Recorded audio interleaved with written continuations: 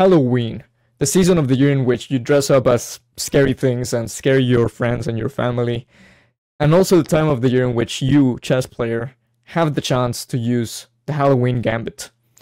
You could use it in any other part of the year as well, but uh, yeah, it's Halloween, come on. In today's video, I'm going to teach you a little bit about the Halloween Gambit. Although it is a Gambit, and at the end of the day, a Gambit is pretty much, by definition, if your opponent plays well, the, all the best moves, you will get a losing position. So just take that into account before you start writing down your comment. David, this is the worst. I lost 10 games in a row. Well, it is a gambit. If your opponent plays well and you, you're, you know, 2,500 above, then this is, yeah. But if you're 2,000 below, which is very likely, no offense, that's where most people are, then this is a very good chance to surprise your opponent and, you know, make the most of the Halloween season.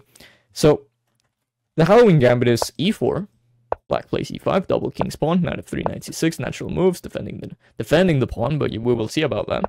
Knight c3, knight f6, and just before your opponent thinks, oh, this guy, he's going to play d4, some boring line, or bishop b5, sorry, bishop b5.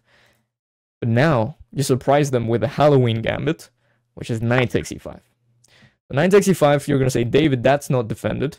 Well, that's the point of a gambit, actually. Very likely a gambit is sacrificing something. And the point is that after d4, white has the center. And after this, black is going to lose tempos over and over. These knights are going to get attacked by pawns. And that's going to make black underdeveloped. So that's the core idea of the Halloween gambit. Now, there are three ways black can play this gambit. Or respond to this gambit, actually. Knight c6. And after d5, knight e5. This is the old main line. Black can play knight c6, and after d5, bishop b4, getting back some material, giving back some material in exchange for activity. And black can play the modern and the best according to the engines, knight g6. So we will go through those little by little, and we're going to start with the main old line, which is knight c6. Knight c6 is not the best. White plays d5, attacking the knight. For example, if you go knight b8, all of a sudden this is a catastrophe. e5, you go knight g8. Every time black goes queen e7, you're going to notice that there's a common motive of going queen e2. You unpin this pawn. You're still threatening e takes f6. And black will eventually go have to go back on, G, on g8, and the queen on e7 is horrible. And the queen on e2 is not that bad, by the way, because you will castle queenside either way. So for example, bishop f4, you castle queenside, and you're doing very well. You're down a piece but black is underdeveloped, and there's no easy way for, for black to develop. So e5, knight g8, same story, bishop f4, this is horrible for black. Once again, you did sacrifice a piece. It was for a pawn, first of all, but second of all, black is underdeveloped. It looks like white just got one, two, three, four, five, six tempos out of nowhere. So black has to go knight e5, or bishop b4, we were going to talk about that. But knight e5, you continue pushing, f4. Black has to go knight g6. If knight eg4, you play e5. And black cannot move this knight because knight queen takes g4 is hanging. Once again, queen e7, what do we play? We play queen e2. We unpin now. And now we're attacking those two knights. I didn't know those arrows were there. But I'm glad that my past self drew those arrows by the time this position was reached. Um, because that's that's a clearer way for you guys. But either way, jokes aside, knight g6 is the best move. And then you continue pushing, e5, Black has to go back, knight g8. Once again, what do you play? Queen e7. You play queen e2. So knight g8 has to be played eventually. And here is the very important moment. You don't want to let this slip away. You have an ultra center, an amazing center. But if you allow black to play d6, all of a sudden your center is going to get undermined. This bishop is going to get out. And it's not going to be so easy. So in this position, you play d6 you kill black's development. Now all of these pieces are kind of stuck. So d6 you play, black has to take, e takes d6, and it's very easy to go wrong as, as black here. Black has to play queen f6. This is the best move. But what happens if black plays queen b6? This is now a mistake. From a better position, because as I said at the beginning, if black does play the right moves, black will get a better position. But from a better position, queen b6, now this is not so easy for black. White plays knight b5, strong move, threatening a fork on c7. thanks to this pawn on d6, also protecting the pawn on d6. And black has to already play king d8. This is the only move to not lose right away. But this is already, you know, we're already talking about not losing. Um, after king d8, white continues to play in this dynamic style, f5, attacking the knight. Knight has to move to e5, and you continue attacking, developing and attacking bishop f4. And here black has two moves. Both there's one one only move to not die, and the other one which is knight c6, which kind of loses um, on the spot. Which actually, what was there? We go, queen d2, and it's a silent move the the threat is very clear. It's either bishop e3, but there's also 97 ideas, and all of a sudden black is lost. Black is lost because black has no development. You can't go a6 as I said because bishop e3 is in the air. If you go queen a5, there's a very nice line. Queen takes a5, knight takes a5, bishop b6, and after king e8 you don't take, but you play knight c7, and this is a this is a yeah horrible. I mean, this is a nightmare. I mean, yeah. So Black is ultra lost in that position. That's why black has to play a6 directly. To which white still has a small plus, even after black defends with a6. After knight c7, attacking the rook. Queen b4 check, the only move to stay afloat. Once again, this is all these are all the only moves for black. Queen d2, you defend this this bishop. If you had moved the king, let's say, this is horrible. So queen d2. And after qu the queen trade, you're gonna say, David, we're trading queens and we're down a a bishop, sorry, a, a knight. Why is why are we doing this? The point is that now the rook and the knight are attacked at the same time. You can't save both of them. So black has to play something like bishop takes d6. The only way to survive as black, I repeat. But after uh, knight takes a8, this is a small plus for white. White got a rook on a8. If you do manage to take this knight, knight out, you will be up in exchange. And uh, the rest is a game and you had this amazing position out, out of playing the Halloween Gambit. How did you do that? So let's go back to uh, d5, knight e5, f4, black plays 96, e5, 98, we know all of this. And after d6, c takes d6, e takes d6, black's best move is not queen b6. This is kind of difficult after knight b5. This is actually already equal. A small plus for white. But black has to play queen f6. And after this, don't, don't think this is hopeless. White can still pose trouble after queen e2 check. So you play queen e2 check. Black has two choices, king d8 or queen e6. We're going to start with king d8. After this, you play knight e4, you attack the queen. Let's say queen e6. And here you have the very strong idea. You know, you want to play knight g5 to attack the queen, but queen takes e2 is in the air. So you play bishop e3. This strong idea comes with a little tactic. If queen takes e4, you're gonna say, well, we're, we're losing even more material. But there we go. Bishop b6, you take the queen, you're winning. So bishop e3, you're threatening knight g5. And black has to be very precise. So for example, let's say black plays knight f6. Now you play knight g5. Sorry, uh, yeah, knight g5. Queen e8. And after castle's queenside, black is stuck. Sure, these two knights are out. But these two bishops, therefore these two rooks will never come out. And this is actually pretty tricky to play as black. So, after queen e2, black has to play queen e6. But still, after knight b5, it's not so easy. You're going to say, well, we're trading queens. All of, our, all of the venom of the attack is out. But after queen takes e2, bishop takes e2, black still has to address this knight c7 threat. And after king d8, which is the only way to stop that, you play bishop e3, and all of a sudden a7 is weak. If you play a6, Similar idea. You saw this before. Bishop b6 is a catastrophe. So black has to play b6. And after you castle queenside, black once again has to respond to all white's threats. It's very annoying. Black has to defend, defend, defend, find only move, only move, and only move after only move. And only now, sorry, I said that oh, so many times. Only now black has to once again find rook b8, which is the only way. But after knight takes a7, this is complicated. White has two pawns in exchange. Black doesn't have any development, and you you can continue pushing pawns and, and, and try to, you know, a4, b4, maybe try to create a pass pawn over there. So this is pretty complicated. That's why now we can think, well, black is actually a little bit in a tough position after knight c6 and d5 knight e5. That's why people went for the second line I mentioned. So out of the three lines, we've looked at knight e5, but now we're going to look at bishop b4. This is known as the Pin Pinski's move. Someone named an international master known as uh, Pinski's played this for the first time or recommended it. I don't know. I think recommended it. So after bishop b4, you're giving back material, but it has a very good reason. The reason being that you're going to take on e4. You're not going to take back. In fact, this would be transposing to, in a ridiculous way, to the four knights variation. You know, if you we go to back to all of these, all of these moves, knight f6, if you go d4, takes, takes, bishop b4, we would be transposing into this. Do you see? It's amazing. But black played knight c4 and this is much better than transposing to the 4 knights variation for black. Now white can try queen d4. This is still asking a question, what do you do, black? Your, your knight and your bishop are attacked. This is not very easy. But black has the very strong move queen e7, defending both of them and preparing to have a discovered attack over here.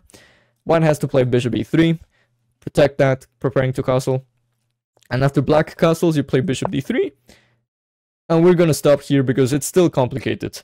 The main line goes knight takes e3, because the knight is attacked. If you go bishop takes e3, b takes e3, and you have to still do something about the knight. So knight takes e3 is the best move.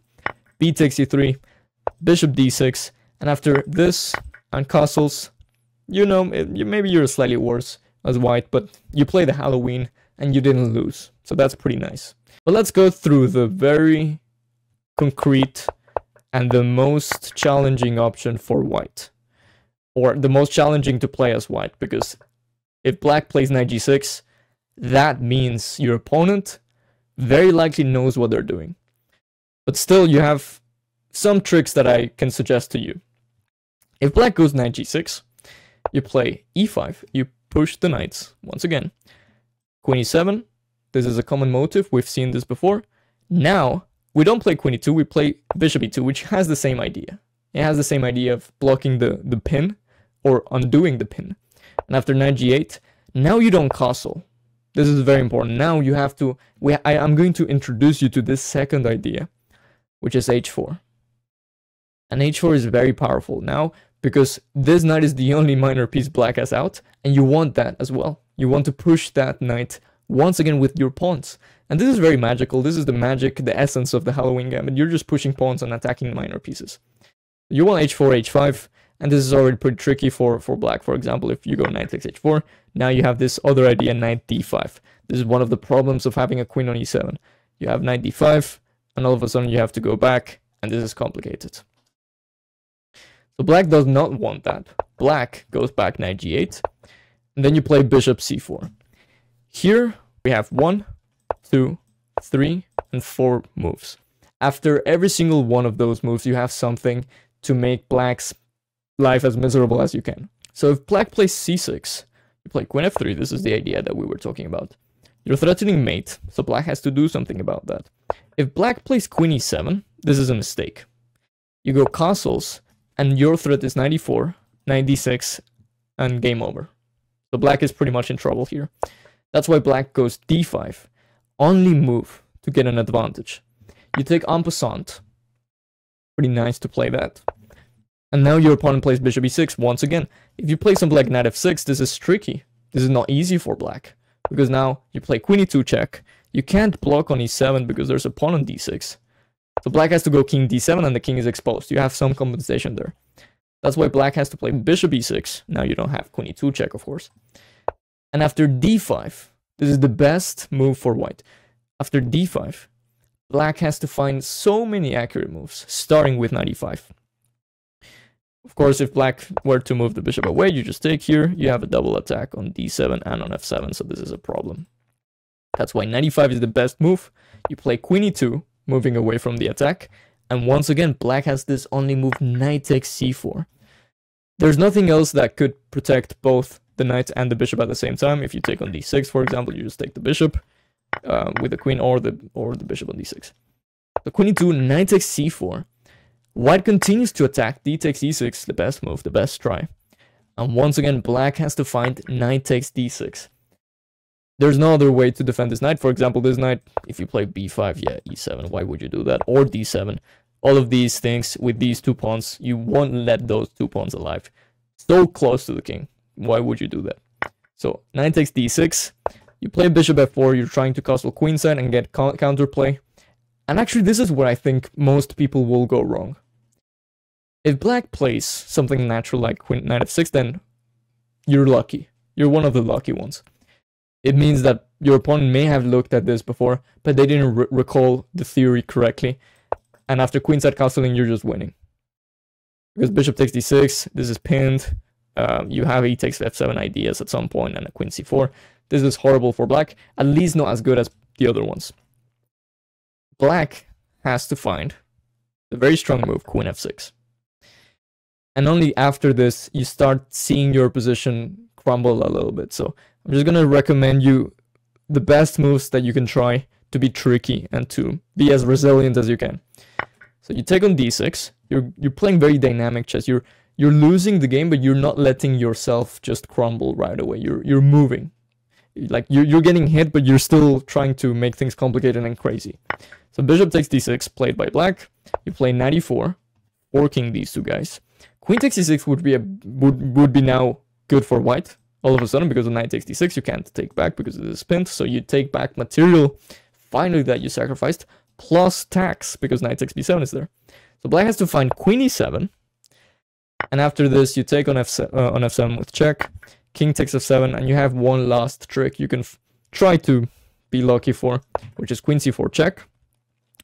If black were to go king f8, now this is horrible after queenside castling, and all of a sudden, sure, you do have a, a piece as black, but rook h1, this is a little bit of a dangerous initiative, and when I say a little, I think, and I mean, this is very dangerous for black. Black has to play queen e6, and here you play the tricky castle short side. Not queen side, by the way, because of bishop f4, but short side. David, you just blunder your queen. No. Knight takes d6. And once again, this is now saving the game for white.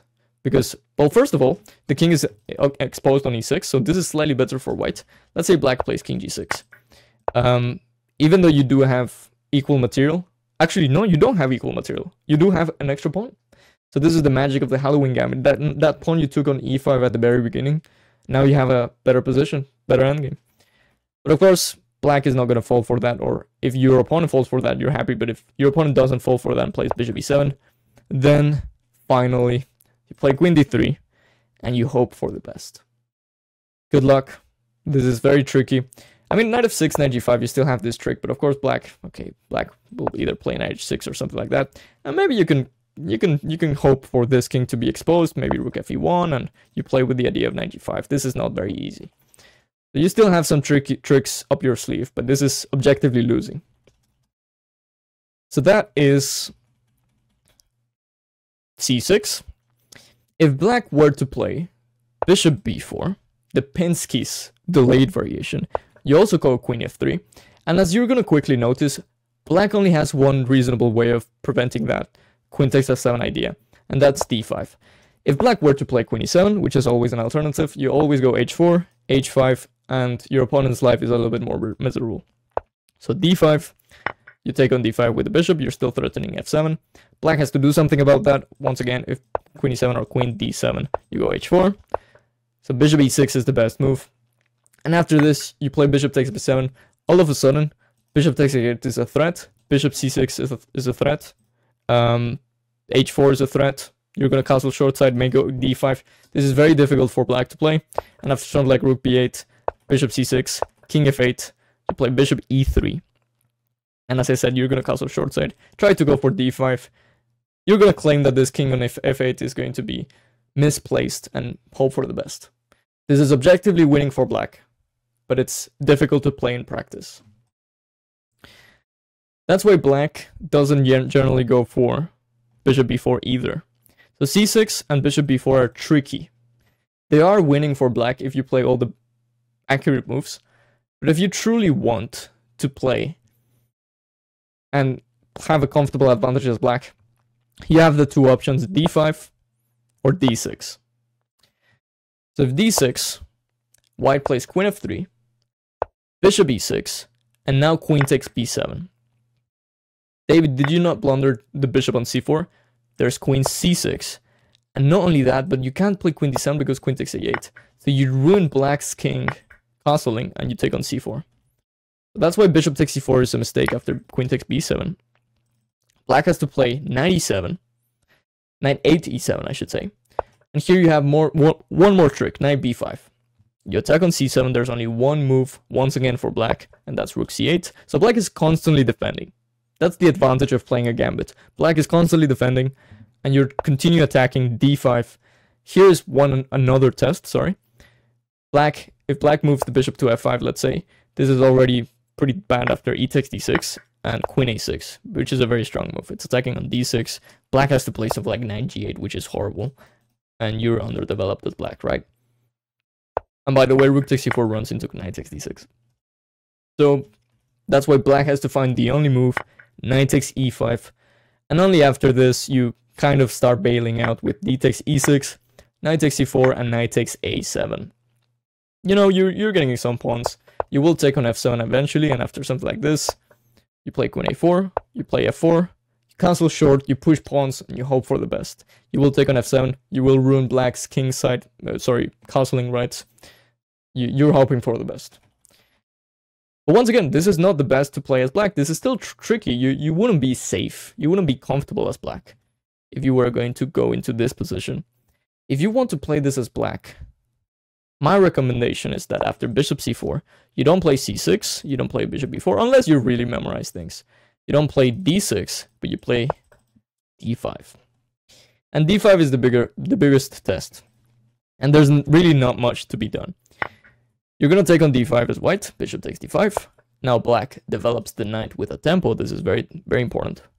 And after bishop g5 pinning this, black goes not h6 directly, but c6 first. h6 is a mistake, because now you have queen f3, threatening f7. And if black takes, of course, you just, yeah, this is, this is very bad news.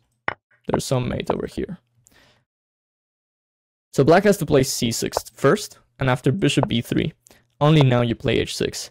Reason being that after queen f3, black is no longer getting checkmated. It looks scary, but after queen d6 there's no nothing. You wish you had knight b5. So you play bishop b3, you have to drop, ba drop back. This is already a bad sign. And after knight f5, all of a sudden you're seeing that black is threatening to exchange pieces, not, not something you want to do when you're down material. But not only that, just getting the bishop out and castling. And as soon as your opponent castles, all your activity and initiative is gone. And I know it sounds very depressing, but this is objective. Now, that being said, in a blitz game or in a bullet game, you castle short side, you hope for something like this, where all of a sudden you have all the activity in the world, f7 is under fire, you can play bishop e6 as black, because queen h5 is winning a piece. But of course, black, after this, plays um, something along the lines of bishop b4, and here you just hope the best, for the best after something like 94. You try to play c4, d5, f4, maybe protect the bishop first, that would be a good idea. And yeah, that's that's that's all all for me. Halloween Gambit, it's it's it's okay for a one move surprise. But if your opponent goes for this knight g6 line, it's very likely that they will know and they are going to play something that they know and they've seen in the internet in a video like this. Thank you very much for watching. If you have any questions, any suggestions, if you think that I messed up in anything, please let me know. Hope you enjoyed the Halloween season. Subscribe. It would really I would really appreciate it. Thank you. Have a nice day.